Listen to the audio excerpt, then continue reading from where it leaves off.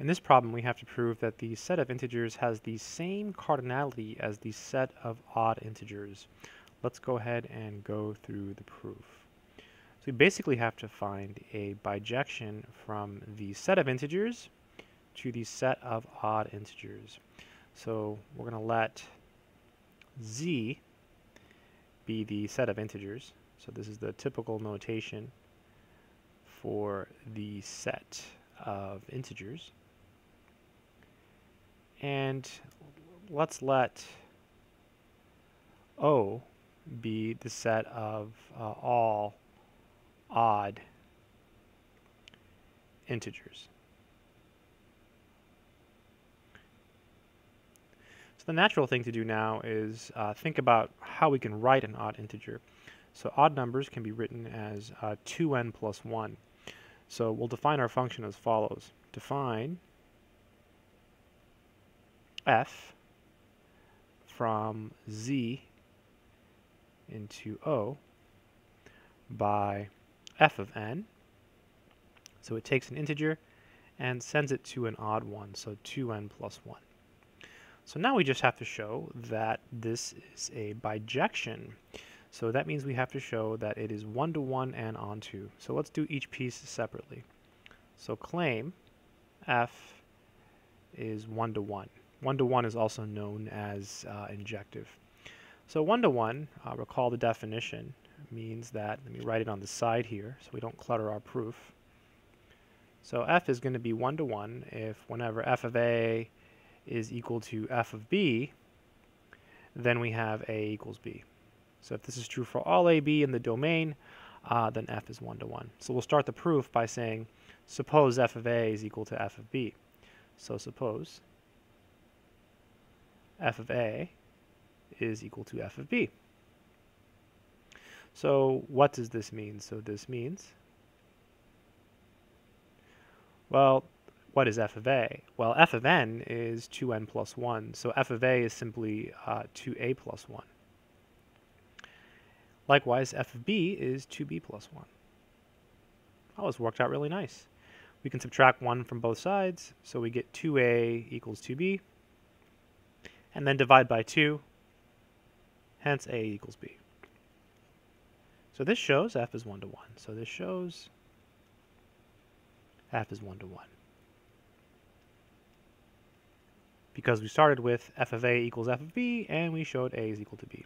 So now we just have to show it's onto. So let's do that part. This part might be a little bit harder. So claim f is onto. Onto functions are also called um, surjective functions.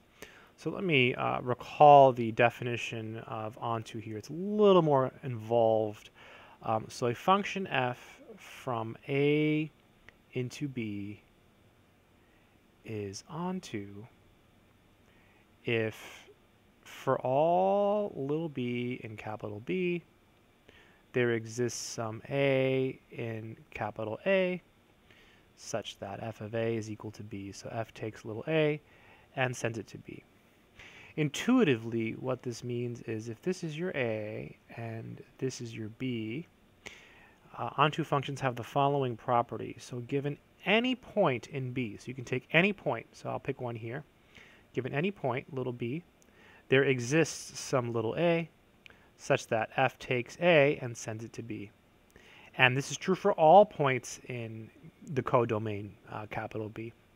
So it's completely covered in a sense. Every point in, in capital B is being hit uh, by the function uh, f.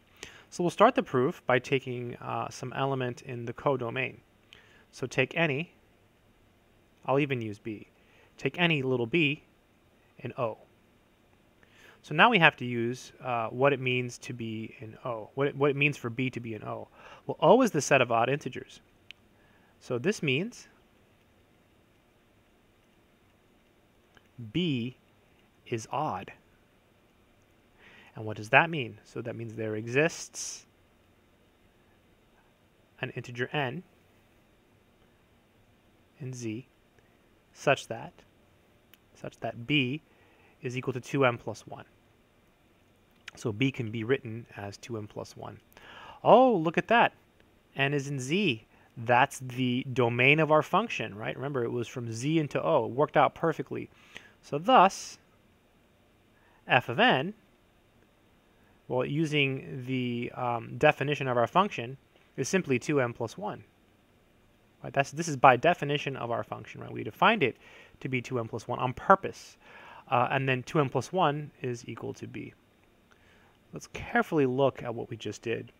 We took an element, little b, in capital O. This is our big B in the definition. You see here the definition of onto. That's your big B, that's our O. So you took any little b in capital O, and we showed the existence of an n in capital A. This is our A, this is our domain, such that f of n is equal to b. So this means f is onto. So since f is one to one and onto, we have what's called a one-to-one correspondence between the sets. In other words, we have a bijection. Same thing. One-to-one correspondence means the same thing as bijection. So since f is one-to-one and onto, we have that f is bijective.